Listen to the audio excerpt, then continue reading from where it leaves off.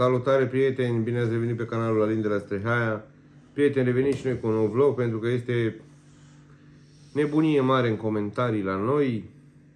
Că de ce nu răspund, de ce nu spun ceva concret în legătură cu situația de la Strehaia. Nici mama nu prea spune nimic concret, nici nimic. Sunt multe subiecte de discutat și Prieteni, ce să vă zic, eu v-am spus părerea mea în vlogul trecut, eu v-am spus uh, ce am simțit eu când am fost acasă la Strihai, pentru că eu n-am simțit niciun astfel de problemă. Acum, nu știu dacă au existat problemele astea și eu nu mi-am dat seama de ele fiind acolo. Dar ce aș putea să fac eu acum? Deci să mă bag să îi țin apărarea ori lui Ursu, ori lui mama. Că din ce spuneți voi în comentarii, descrieți problema ca și cum ar fi un conflict între ei. Dar chiar prietenul nu este niciun conflict. Am vorbit cu mama și mai devreme la telefon. Era totul ok, nu era nicio discuție.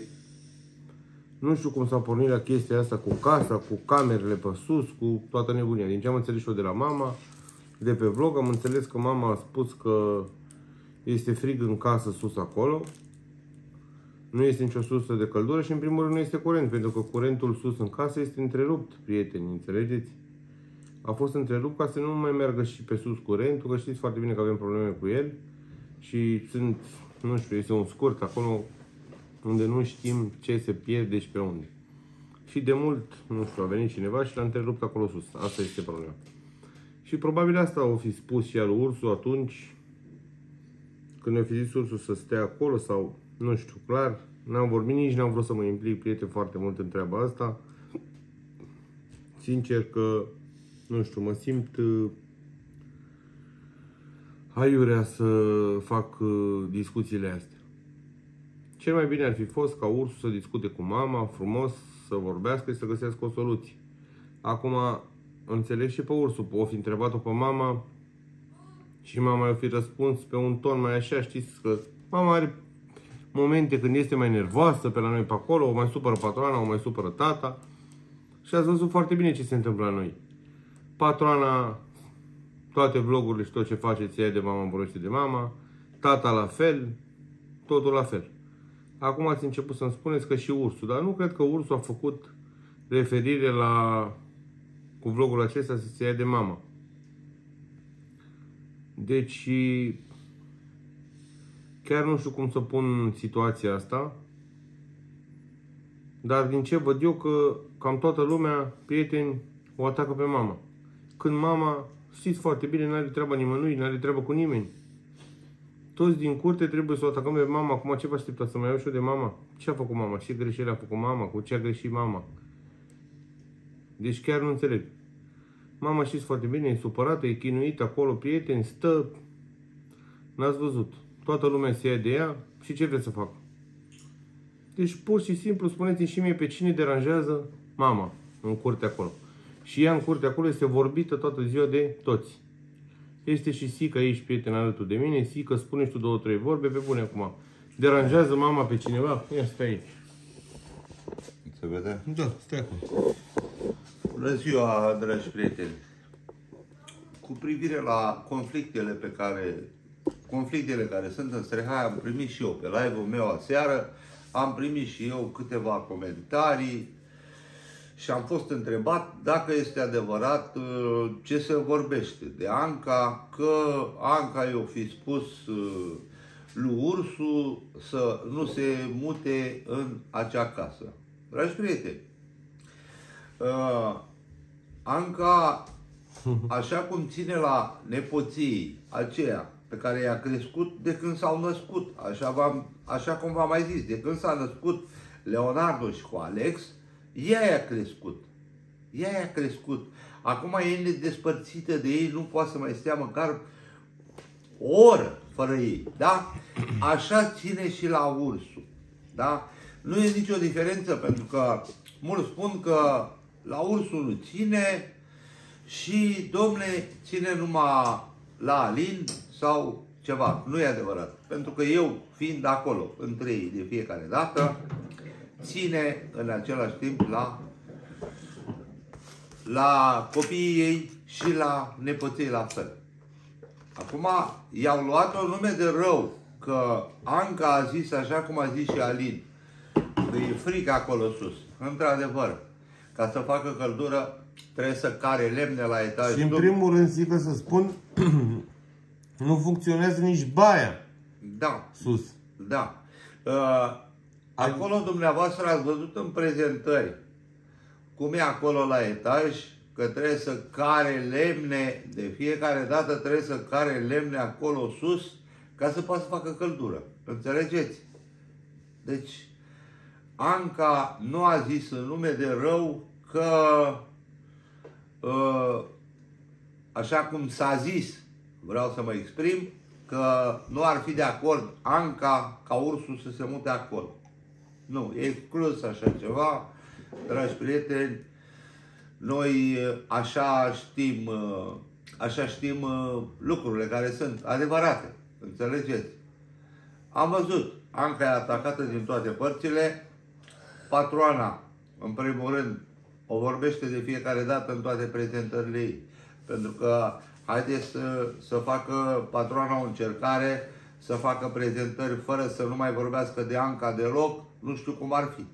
Dar așa, vorbind-o pe Anca, e problema ei, nu știu până când va avea de gând să vorbească de Anca și când va înceta să nu mai vorbească de Anca. Pentru că așa cum a zis și Alin, Anca n-a căutat și nu caută ceartă niciodată cu ei. Atât. Ai, bă, ai, vă- ați văzut-o pe ea să vorbească de cineva, chiar și de persoanele care au vorbit de ea. Nici măcar nu le-a răspuns înapoi. Sau să vorbească de patroana vreodată sau de tata pe vreun vlog. Dragi prieteni, haideți să aducem, uh, să aducem aminte acum puțin în urmă, de exemplu, certurile care au fost astă iarnă, iarna trecută cu fosta noră sau cu lumea altă, da? Bun. Ați văzut-o pe Anca vreodată să deschidă vreun subiect și să vorbească ea, să spună ea chiar că a fost atacat atunci, iar la fel din toate părțile. Înțelegeți? Ea n-a scos un cuvânt. De ce credeți? De frică? Nu. De nicio frică. Că lui Anca, dacă e, nu e frică de nimeni și de nimic. Da? Da, asta e Anca. Asta e. Eu știu foarte bine pentru că noi am crescut de mici. Suntem frați și știu cum e Anca. Ea nu se bagă, ea nu... De Anca de abit să scoți câteva vorbe de la ea și atât. Ăsta e felul ei. Ea nu are treaba nimănui. Și așa că, oricât ar fi de gravă o chestiune, ea nu comentează și nu se bagă. Înțelegeți? Așa că o rog chiar și pe patroana și chiar când o fi să mai stau de vorbă cu ea, să înceteze să mai aducă vorba de Anca, pentru că dacă Anca nu are treaba lor, așa să facă și patroana și consider că ajunge, ajung certurile și discuțiile care sunt să înceteze că nu e bine, dragi prieteni. Sunt acolo într-o familie. Pentru că dacă nu, așa cum am zis și eu și Alin, decât să se ajungă la certuri mai mari, Doamne ferește, da? Atunci trebuie să se ia decizia de care am vorbit noi. Să se separe, așa cum Leo a început deja, ați văzut, nu? Amenajează casa patroanei, că a zis că stă acolo, ursul la fel cu Georgiana și fetițele și nepoței și până la urmă, dragi prieteni, nu-i de glumă, vorbesc serios, până la urmă, așa cum am zis mai devreme, decât să fie certuri pe fiecare oră, nu mai zic pe fiecare zi, că acolo sunt certuri pe fiecare oră, decât așa, se pune gard pe mijloc și fiecare nu mai are nicio treabă. Înțelegeți? Nu se mai întâlnesc nici la bucătărie, acea bucătărie o să rămână a patroanei, să-și facă pregătirile acolo cu Georgiana, cu Păi toate- și așa ați văzut, prieten, că mama, Da. da. mama nu mai, mai merge toată în bucătărie acolo pentru că nu are stare când vede Da, tot pe merge, hărmălaie da. nebunie pe acolo, mai merge, mai face curățenie, mai face și mâncare la copii Nu are acolo. nimic decât să fie... Dar majoritatea timpului evită să meargă acolo în bucătărie sau să ia contact cu ei. Pentru că prietenii, eu acum, de fapt am realizat asta de mult. Deci la noi, când nu este nicio problemă și poate să fie armonie și poate să fie totul bine și frumos, patroana și tata s-au învățat Deci s-au învățat prieteni să-și autoinducă stări de astea de probleme, de nervi. Ei dacă nu au o problemă sau Da, nu au da, o... bravo, Anne. sau nu au așa, nu se simt bine. Nu se deci simt dacă bine, e totul bravo. relax, nu. Nu e ei bine. din ceva trebuie să inventeze ceva, nu știu, așa s-au obișnuit ei. Nu știu cum să mă exprim. Nu, așa e. Deci ei dacă, cum să zic, Sica, dacă e totul bine, uite cum stăm noi acum, Nu totul e bine, bine, și nu se frumos, simt bine. Nu e bine. Nu se simt Trebuie bine. să se gândească ei la ceva, să creeze ceva, Nu. să fie ceva rău, să fie ceartă în ziua aia, să fie zisică, să fie uh, să fie o problemă, să existe o problemă în viața Să noastră. fie agitație. Să fie o agitație, da. Deci, uitați și noi când stăm așa relax și stăm aici acum, știți foarte bine că am fost bolnav, îmi fac tratamentul, stăm la căldură, la astea foarte bine, acum chiar mă simt bine și, și pe noi ne mai agită prieteni, ca și așa de la distanță. Ne mai sună ei cu câte o problemă, cu câte ceva și bagă agitația în noi. Deci nu se poate așa ceva, prieteni. Eu n-am văzut așa ceva. Deci ei când văd că e totul ok sau e ceva bine, la ei trebuie să existe ceva. Ei nu există să aibă viață liniștită, relaxată și să trăiască în armonie și fericire și într-o familie. Să stăm, să mâncăm, să stăm liniștiți și astea. Că la urmă lui știți foarte bine prin ce am trecut, prin uh, spitale, greutăți, Și dosare, greutăți, pușcării zic că și toate mai astea. sunt greutăți. Și mai sunt probleme pe care Mai le sunt. avem și na, să stăm și noi liniștiți așa. Pentru că știți foarte bine ce agitație a fost. Înțelegeți? Și totuși, după toată perioada asta, lor le place în continuu Și nu se va înceta Să mi-e fie frică mie, că nu se va înceta niciodată. aceeași atmosferă. Pe cât, Nu fraților, se- că uitați că de la, din cauza la agitațiile astea și de la problemele astea, uh, create aiurea, ajunge, nu uitați, să ne îmbolnăvim la vârsta asta, la vârstă tânără, să, Doamne ferește, pe nu mai stres, nu mai stres, nu mai stres, pentru ce? Uitați acum la Strehai, își fac construcțiile, își fac, își fac ale, da? De ce trebuie să fie Ba, stres? atunci, De ce trebuie mai, să fie da, bravo. De ceartă? ce De trebuie ce? să mai fie ceartă? ce probleme au? De ce nu-și fac lucrurile acolo în treaba lor, fiecare, fără ceartă, fără nimic? Ce ba se vorbește de unul, ba se vorbește de altul și tot așa. Deci mereu trebuie să existe ceva. Ce arată? De ce nu este liniște? Pentru ce? De unde apar problemele astea? Problemele astea nu apar că sunt și n-ai încotro. Problemele astea apar pentru că așa se simte ei bine cu probleme. Ei se autoinduc în starea asta, ei vor să aibă probleme. Ei dacă nu au probleme și discuții și certuri și stres, nu se simt bine. Asta e părerea mea. Deci sincer. Ce zici? Caline, ca așa s-au învățat să creeze haosul pe care e acolo. Eu v-am zis de fiecare dată, dragi prieteni, când merg acolo, că stau și eu o oră, două și toate alea, eu nu sunt învățat să stau în haosul care e acolo, da? Haosul creat de cei doi, da? Uh, am stat de vorbă chiar cu Leo pe tema asta, cu haosul care se creează acolo. Ce răspuns credeți că mi-a dat Leo? Începe să râdă. Începe să râdă, nu, nu zice nimic, nu-mi dă niciun răspuns să-mi spună, băi, și că uite din cauza asta sau ceva, a, doar că zice că sora ta e de vină. Că sora mea e de vină în toate. Păi cum e sora mea de vină în toate când, când sora mea nici nu vorbește? Nu scoate o vorbă da. măcar chiar când e Dar atacată. tot ce se întâmplă acolo în curte, mama e de vină? Da, da, așa zice că mamă, uh, maica ta e de vină, Anca e de vină în toate, Anca e, e provocată de fiecare dată, așa cum a fost provocată și acum o săptămână, sau cum e, o săptămână și ceva, da? A fost foarte provocată și Anca caută fel și fel de soluții ca să, poți, uh, ca să poate să evite, caută fel și fel de soluții ca, să, ca la acele provocări să facă în așa fel Ați să văzut se apere. că, ați Dar, văzut că a încercat să desigur. evite și a făcut bucătăria aia separat și a pus aragaz acolo în spate să gătească, să dea la copii de mâncare. Pentru că mama, prieten, eu am înțeles, da, și ea, spuneți că reacționează foarte nervos și foarte asta, că de ce nu ia contact cu ei, de ce nu stă cu ei. Ea, de exemplu, dacă mergem în bucătărie acum acolo, să facă mâncare la copii și sunt și ei, ei se ia de ea, fac de astea, aiurel, știți? Și o agită. Și mama nu mai are răbdare, prieteni.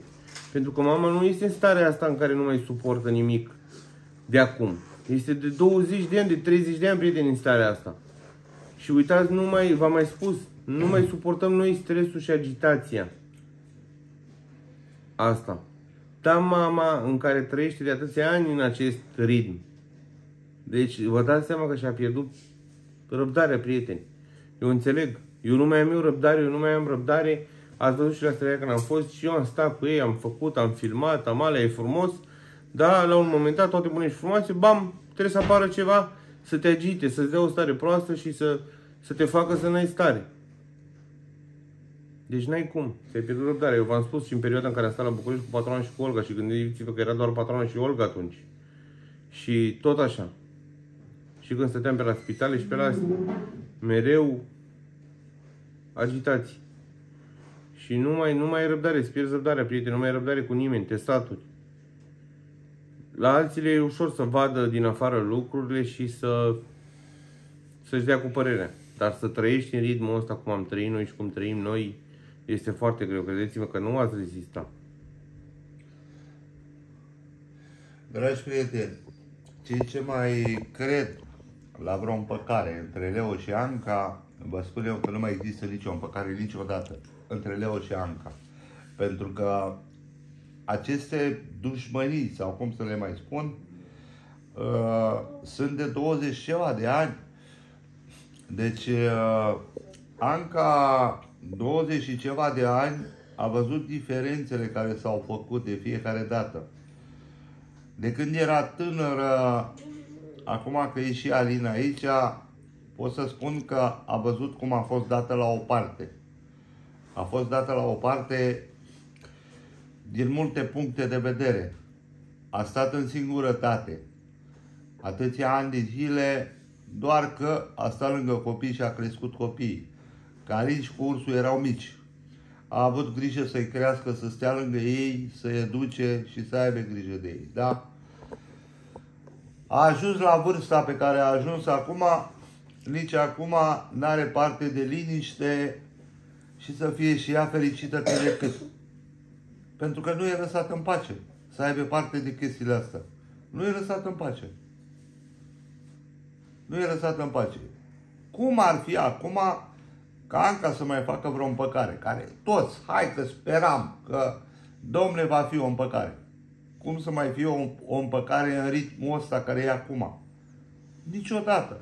Eu știu asta, dragi prieteni, și de la mama copiilor mei, care sunt uh, despărțit de aproape 11 ani de zile și știu ce înseamnă. Pentru că nici la mine nu mai există nicio posibilitate vreodată de împăcare. Dragi prieteni, nu are cum să mai fie. Cei ce întrebați acum, că știu foarte bine că mulți o să spună că eu am fost de vină, într-adevăr, am fost și eu de vină. Am avut relație la Timișoara cu o româncă, așa cum am zis, am stat șapte ani împreună, după aceea ne-am despărțit, mama copiilor văzând asta, de acolo a început dușmănia, ura și de acolo ne-am îndepărtat încet, încet. Da? Sunt și eu de vină, într-adevăr îmi recunosc vina. Dragi prieteni, așa cum bine știți, am rămas singur. Situația lui Leo, cum e Leo singur, așa sunt și eu. Da? Acum și Leo, aici vreau să ajung trebuie să înțeleagă, să o lase pe Anca în pace, așa cum am lăsat-o eu pe mama copiilor mei, eu cu mama copiilor mei, nici nu vorbim măcar să schimbăm o vorbă de atâția ani de zile, dragi prieteni. Înțelegeți? Pentru că stă acolo, că vine la... Deci ne vedem, ne întâlnim față în față, fie la o masă, fie acolo în curte sau la bucătărie. Dar noi de aproape 11 ani de zile nici nu vorbim. Și asta vreau să zic că vreau să înțeleagă și Leo să procedeze și el tot ca mine. Da? Să n aibă treaba lui Anca, asta e. Dacă s-a încercat o dată, de două ori, de cinci, de zece și ori... în timp poate ce se va schimba. Înțelegi? Vedem. Poate Dumnezeu le creează o altă stare și va fi altcumva, ceea ce nu cred. Dar vedem, asta trebuie să facă Leo. Și în primul rând, patroana tot spune că vrea să-l însoare. Acum, toți țiganii din Strehaia asta vorbesc. Că, de exemplu, dacă ei amenajează casa aceea a patroanei, ați văzut și voi, cu atâtea materiale cumpărate și toate alea, poate că ai, are de gând să-i aducă lui Leo nevasta acolo, da? Doamne ajută, știți de ce? Dacă se întâmplă asta, cred și eu că atunci o vor lăsa pe Anca în pace. Înțelegeți? Atunci Anca va fi lăsată în pace. Da, zic că da, mai făcut să râd. Dar crezi că va rezista cineva cu patrona și că el acolo în Ah, casă? nu, pe aia zic și Ioane, zi. Nu, Da. nu există așa Ia zi, ceva. Ioane. nu. Da, aia care va veni. Da. Deschis. Aline, să mai zic ceva. Dragi prieteni, și îmi cer scuze pe tema asta. Vă aduceți aminte că eu ziceam de fiecare dată greu să, redi- să reziste vreo româncă în comunitate. Asta n-a fost cu răutate vorbele astea. Știți de ce? Pentru că știam de acolo balamucul care e, balamucul pe fiecare, din fiecare clipă, din, din această cauză. Știam ce e acolo. Și tot acum, așa cum a zis Alin, că va rezista aia care va veni acolo, uite așa am zis că nu rezistă nici Georgiana acolo și uitați că Georgiana s-a adaptat chiar bine și va Hai, rezista. zică că mai e. Ha? Uh, Mai stai, e, a? Deocamdată e la început. A, n-ai zici de că- nici- E Poate- grele. Pe nu rezist eu la mine în familie, da altcineva. Adică noi și eu. Și tot vorbim. Cu privire la Mihaela. Mihaela e nimic ce e acum haosul și balamucul, pentru că Mihaela e învățată, a- aproape tot timpul a stat în preajma lui A avut patroana, haosul și la București. în pa, cu Același. patroana la București și peste tot deja Mihaela suntem, e doxă, suntem siguri că, da, Ioane, vreau să ne ai un interviu să-mi spui, este adevărat că patroana și tata creează stările astea de stres, de haos? Da, da. Ei, dacă nu este o problemă, ei nu se simt bine? Nu.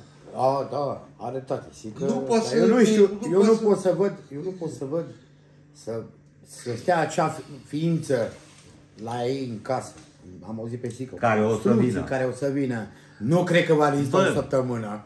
Că vede Hai, Ioane, să tulburările zicem- de creier. Tu rezisti să stai cu ei? Nu, e- băie, de aia, de aia le-am dat marșul ca la mirese, hai, șt, o vedem că nu se poate sta. Ioane, dacă Că va fi tulburări o- de creier și nu. Hai să zicem dacă va fi o țigancă, o româncă greu, e exclus o româncă să Da, reziste. zic că da, și pentru țigancă e greu.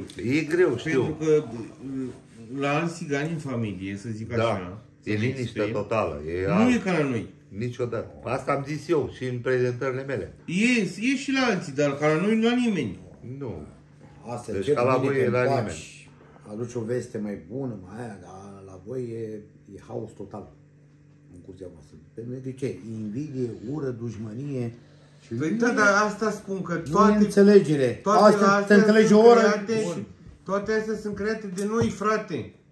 Nu sunt niște probleme că sunt și ne încotro și trebuie să le accepti. Da, da, corect. Sunt niște Categoric, probleme pe da. care poate să nu existe într-o secundă. Așa, E categoric, da. Așa s-au învățat. N-ai ce să le mai faci pentru că ei așa fac de atâția ani de zile. De atâția ani de Deci zile. aruncă Aline. pietrele de la unul la altul. De atâția ani de zile. N-ai ce să le mai faci, Aline. Nu mai sperăm noi că va fi liniște, că va fi bine. Mă rog la Dumnezeu să reziste Georgiana, să rămână alături de Ursu, pentru că am văzut că chiar îl iubește atât de mult și își Dar noi ne dorește, bucurăm și Doamne ajută să fie își bine. dorește Și asta. și muncitoare. Georgiana, Și pe muncitoare. bune. Ești pe bune. Eu- Da. Ai un respect față de oameni care intră în curtea lor și ești muncitoare. Și tu și copilele tale să fii Și sănătoși. fetițele la fel, bravo ei să-i trăiască, are niște fetițe Cu minți, da. de milioane, și frumoase, și cu minți, și deștepte. Să dea Dumnezeu să rămână alături de ursul, să formeze o familie de Bună. viitor. Da. Asta zic. Deci, Ioane, reziști cu aceeași patronă. Nu. Mamă, nu mă Nu? unde Rezist o oră, după aia Vezi, ore- așa am zis și Da, eu. fii atent. De exemplu, uh, așa cum... Deci, Olga... Vreau să te întreb pe tine Păi acum. nici Olga nu rezistă cu ei. A? Păi Olga de câte ori pleca și fugea și toată lumea o acuza, de ce nu stă? Și în Din perioada în cauza care asta era la fugea. spital, s-a lipsit și de situația cu tata cu spitalul, Și a fugit. că era Și tot bolnav din cauza și a lui. fugit frate în Germania. Da. Să stea liniștită. Da. Băi, fraților, în ziua de azi ne trebuie liniște, fraților. Am trecut prin multe, prin astea. Obstacole. Prin multe obstacole, pe bune. Cât să rezistăm ca oameni. Alții la o chestie cât de mică, gata, o ia razna. Noi chiar am fost puternici, că îi mulțumim lui Dumnezeu că ne-a dat putere să trecem peste toate. Alții, cum ai zis tu, o ia raza și ajung la nebuni. Da, imediat. Da. Dar îi mulțumim Necazurile, lui Dumnezeu că ne-a dat răbdare și putere. Și necazurile sănătate. care le-am dus, dragi prieteni, într-adevăr, așa cum am zis, că mai vin aici la nepotul Alin, am considerat în felul următor, stai lângă cineva când sunt niște probleme, când sunt niște necazuri, degeaba mai stai altă dată când e bine, să zici că vii numai la bine. Nu. Asta e, dragi prieteni, nu doar de dragul că nu știu cum.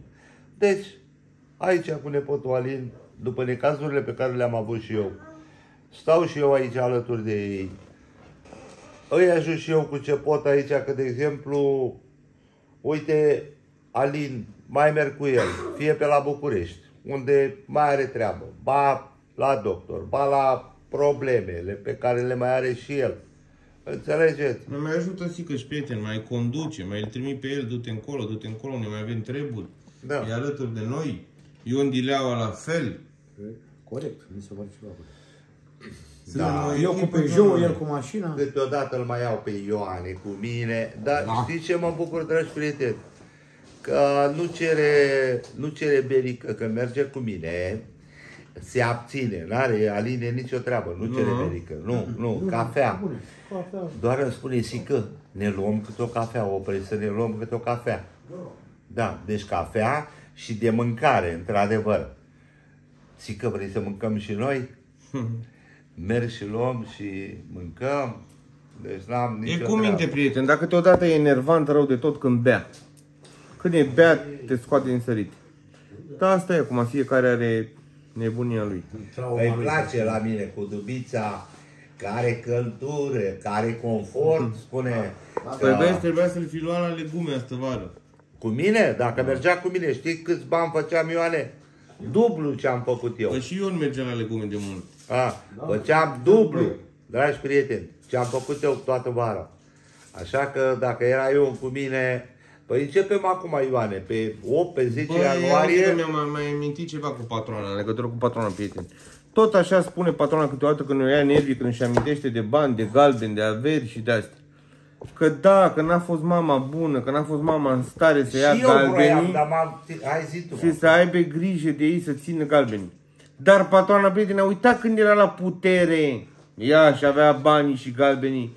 Că lăsa vreun galben pe mâna lui mama, să-l ascundă mama, Asta să-l vreau țină. să zic și eu. A luat să zică 200, 300, 500 de galbeni să-i spună ia încă și ascunde-i și ține-i și ai grijă de ei și ascunde undeva?